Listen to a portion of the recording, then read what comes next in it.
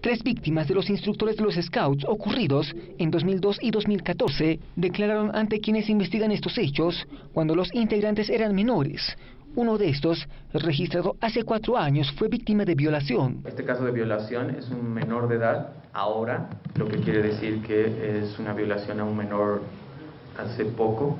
Estamos, estimamos que fue hasta que Henry estaba vigente como dirigente, que es el 2014 que lo expulsaron.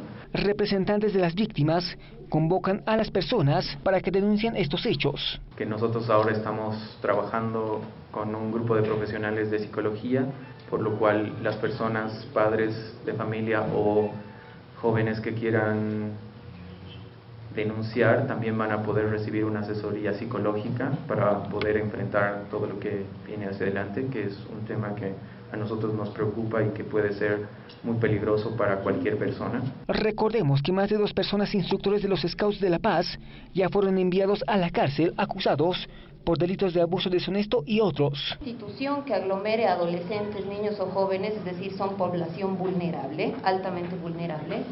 Eh, las mamás y los papás depositan plena confianza en quienes se hacen responsables, que son adultos, ¿no?